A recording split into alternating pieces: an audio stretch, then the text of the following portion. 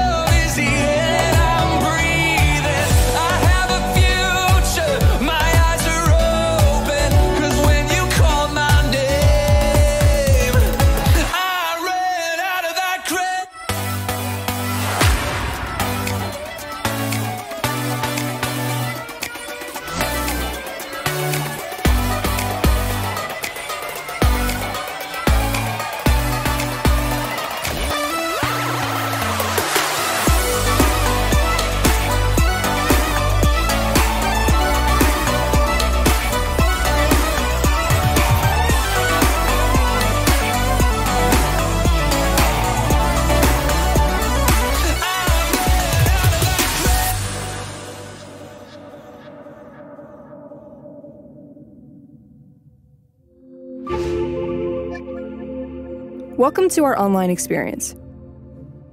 Did we come ready to worship and celebrate? Come on, put your hands together for the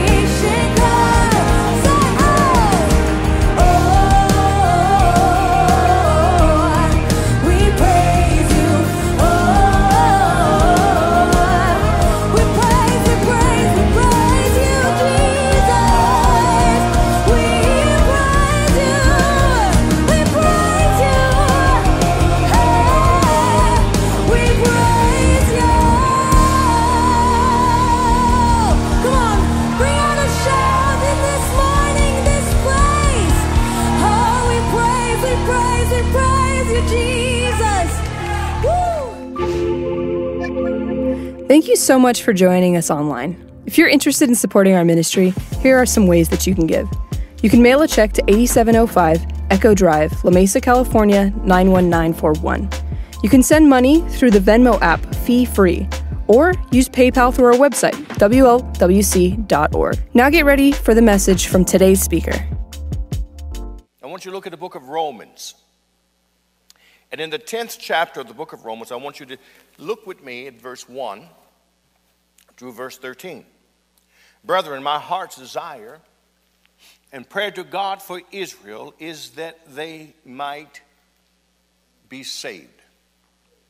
Everything we do as Christians, as men and women of God, everything we do is built upon the premise that through it, men and women will be saved.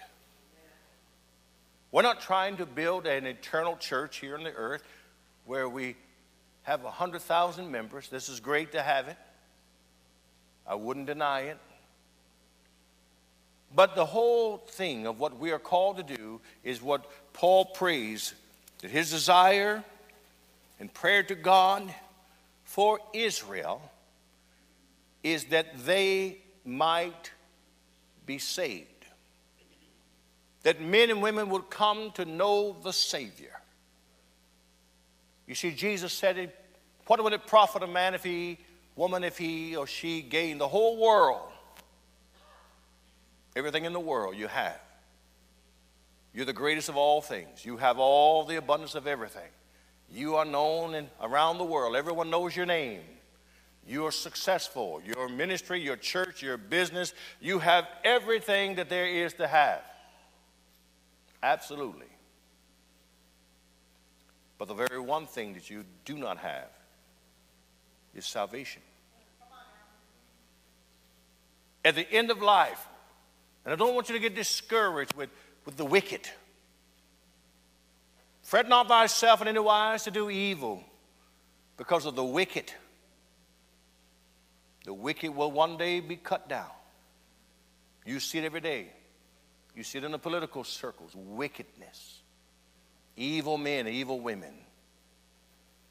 Oh, but a day is coming. The day is coming when the wicked will be cut down like the grass. And only the righteous, only those who've been born again, those who are saved, will stand in his presence. The congregation of the righteous, not the congregation of the rich, not the congregation of the successful, not the congregation of the most influential but the congregation of the righteous. The greatest riches you have is a believer in Jesus. It's your faith in Him. Money couldn't buy what you have. All the land in the world, the trade, could not buy what you have. That means you're more wealthier than all the wealth of men if you have a relationship with Jesus Christ. This is what Paul was praying. My desire is that they might be saved. For I bear them record that they have a zeal of God, but not according to knowledge. For they being ignorant God's righteousness, going about to establish their own righteousness, have not submitted themselves unto the righteousness of God. Or if I can just be a good human being, if I can ascend to the highest zen, if I can have the greatest knowledge, the wisdom, and all of that, a man and woman will perish forever in the lake of fire. Not because God doesn't love them, but because having all of those things will never qualify you to stand in the congregation of the righteous. Nothing but the blood of Jesus will forgive the sin of a sinner. Oh, that sinner can get his sins under the blood of Jesus. Not only does the blood of Jesus forgive you of your sin, but the blood of Jesus positions you in a standing before the holiness of God as righteous, as though you have never sinned. Because of that positioning, we hunger and desire to live right. I don't live right to be saved. I'm saved so I want to live right. I do not commit adultery because I'm saved. I'm saved and I don't want to commit adultery. You understand that? I don't believe that a man or woman who really walks with Jesus, really walks with Jesus, can hurt others, take from others, take advantage of others. Well, he's drunk, he won't know, I'll just slip his wallet out. There's something about the right standing in the presence of Jesus that gives us the ability to say, I want to live right.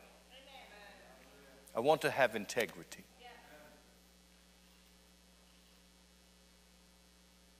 The Word of God goes on, they're ignorant of God's righteousness. So they therefore try to establish their own ability. Verse 4 says, For Christ is the end of the law for righteousness to every one that believeth.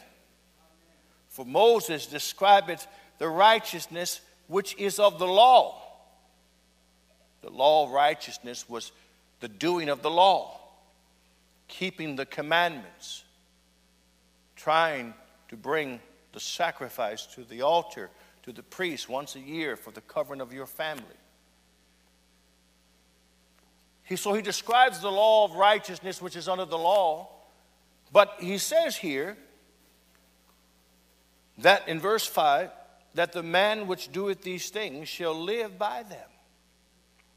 But the righteousness which is of faith speaketh on this wise Say not in thy heart, Who shall ascend unto the heavens, that is Christ, to bring Christ down from above, or who shall descend into the deep, that is to bring Christ up again from the dead. But what saith it? The word is nigh thee, even in thy mouth and in thy heart. In thy mouth and in thy heart. When the word refers to the word being in your mouth, it means this is what you speak. Word in thy mouth and in thy heart. That is the word of faith which we preach.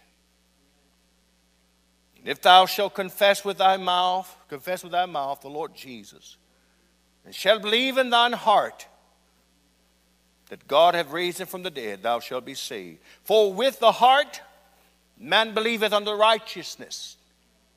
With the heart man is established and positioned in a place before God, in a place of righteousness. Righteousness doesn't come because you wear a suit or dress on Sunday. Doesn't come because you are a faithful attendant of the church. Righteousness doesn't come because you give a greater offering in the, in the offering basket. Righteousness, the Bible says here, for with the heart man believeth. Something happens inside of the heart of man. And everything in our relationship with Jesus Christ is built upon the establishment of one's heart. We do what we do because of the heart. It's been changed. We live the way we live because the heart has been affected.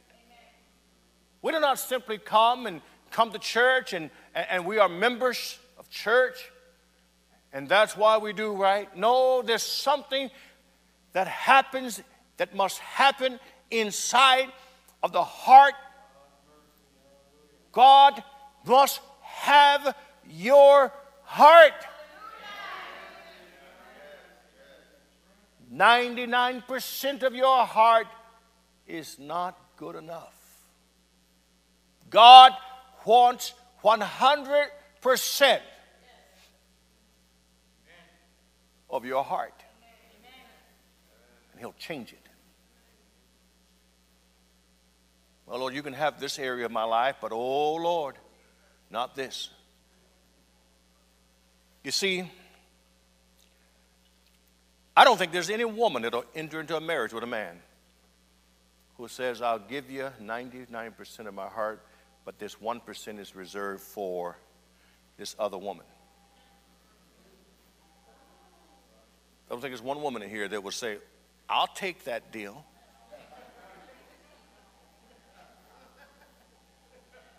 There's something about knowing that your heart belongs to me that makes love work. When Jesus knows that your heart belongs to Him, it makes it work. So he says, with the heart, man believeth unto righteousness, and with the mouth, with the mouth, the spokenness of the mouth, confession is made unto soteria, salvation. Nothing missing nothing lacking, prosperity and strength. Because we get so mixed up in the world today, we're so confused by religion that if anyone mentions the very name prosperity, you think there's something wrong with it, when the Bible speaks about it in several places. Prosperity is having everything working right. Prosperity is having a good marriage. Prosperity is having my children healthy and wealthy and strong. Prosperity is having a good health in my body. Prosperity is having a little money in my pocket that not only can use it, but I can bless others with.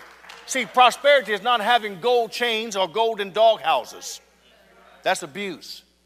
And wherever there's been like that, it's been misused, misrepresented. But every one of you want prosperity. That's why you work so hard every day. You don't go to work because you like the job. You don't go to work because you like the boss. You go to work because they're going to pay you. Am I telling the truth? You don't have kids so they can become all uh, uh, foolish. You have kids so they can become whatever they want to be in life, and you're proud of them. You do your very best in that short window of time, and it's such a short window compared to life. We only have really about uh, 13, 12, 13, 14 years to really impact them. After that, they start thinking on their own and especially today, in today's world, it moves such much, so much faster than the world I came out of. Didn't have internet. We didn't have cell phones. There were no pagers. And Lord have mercy, the only computers were there what NASA had them. And it took up a whole room. Isn't amazing? Things move quickly. But see, you and I, he tells us, I want to bless you. Out of your confession, soteria comes. The scripture saith, Whosoever believeth on him shall not be ashamed. For there's no difference between the Jew and the Greek, for the same Lord is over all is rich unto all that call upon him. And whosoever call upon him shall be saved. The, the greatest thing in all the world is to be saved. Now, the scripture tells us that Christianity, basically, it has been known that Christianity is the religion of, we call it, Christianity is called the Great Confession.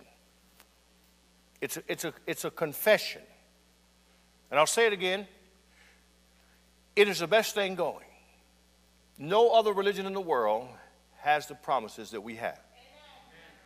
Every other religion requires you to achieve a certain level, a certain consciousness, a certain level of approval to reach the utopia of religion.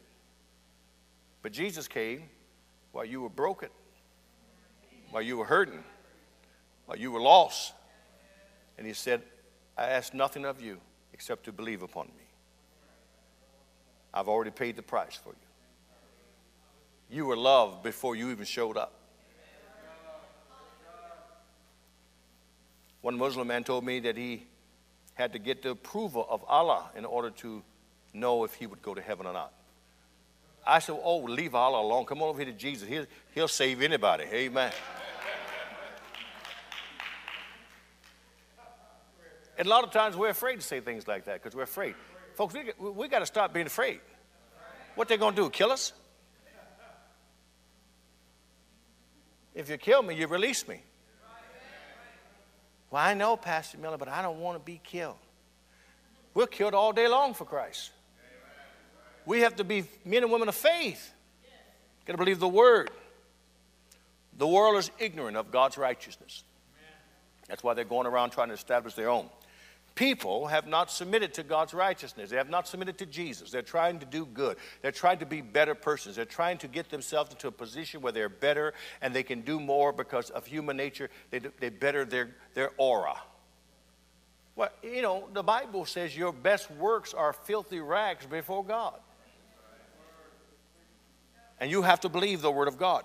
Thirdly, Jesus Christ is the only means by which righteousness comes before God.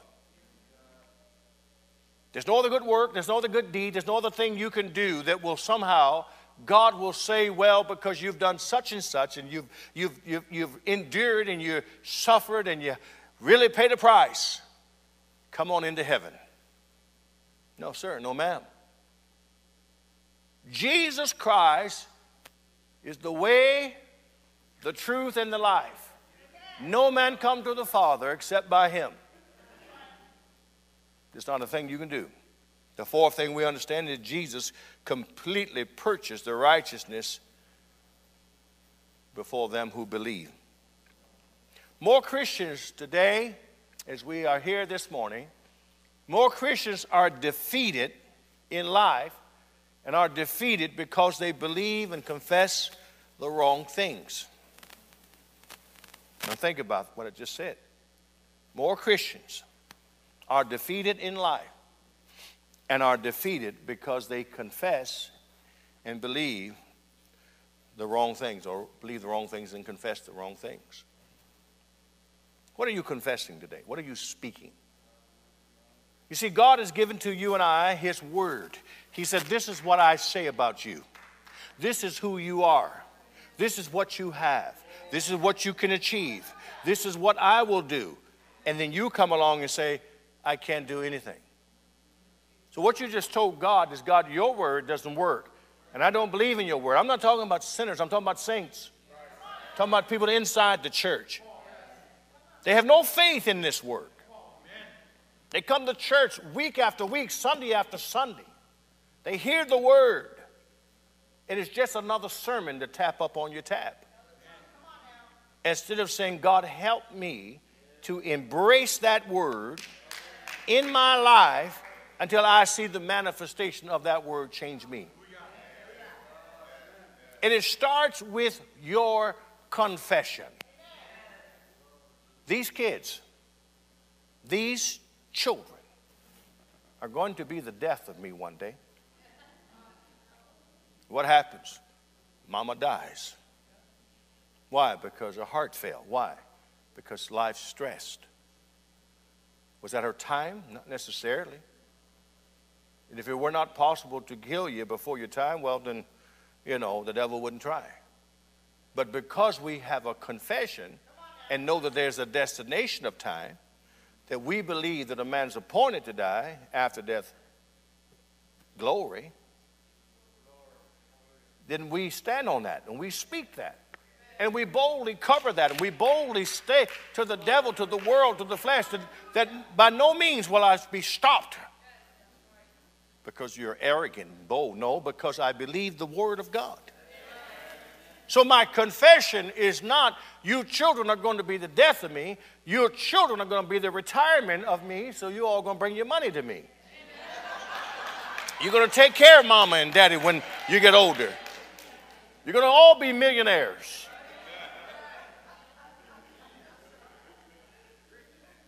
You know, I, I, knew, I knew Mr. Witt at Lincoln, very wealthy family in San Diego. And I know his, their son Scott and Todd and the rest of the uh, Witt family. And I looked at that family and I said, I said to Scott, uh, his son, I said, Scott, your, your dad started this car business a long time ago. And look at this place. It, it just, boom, multiple millions of cars and, and dollars and blessings. And I said, now your dad's getting ready to retire, so what's going to happen? He said, well, we'll take care of them now. I said, See, that's my confession. That when I cannot do what I do, my children are going to take care of me. See, you have to decide what you're going to speak in life. And you can disagree with me, and that's, and that's totally fine. You stay where you are. You keep getting the results you keep getting. Or maybe one day you'll listen to somebody that knows what they're talking about. The Word of God says it right there. What am I? I am whatever God said I am. I can do what? I can do whatever God says I can do. I can go where? I can go wherever God says I can go. That's my confession.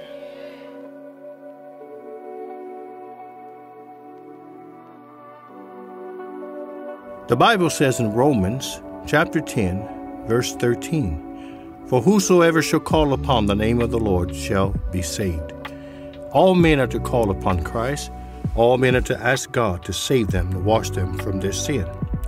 The Bible also says in Romans the 10th chapter, verse 9, that if thou shalt confess with thy mouth the Lord Jesus Christ, and shalt believe in thy heart that God hath raised him from the dead, thou shalt be saved.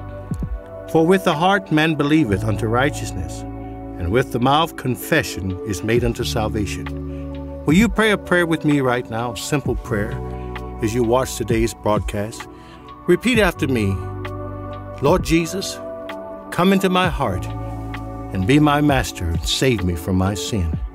I confess that I am a sinner and have great need of you. I receive you as my Lord and my Savior. In your name, Jesus. Amen. Friend of mine, if you prayed this prayer, I believe that your name is now written in the Lamb's Book of Life, for the righteousness of God that's in Christ Jesus has come upon you to save you.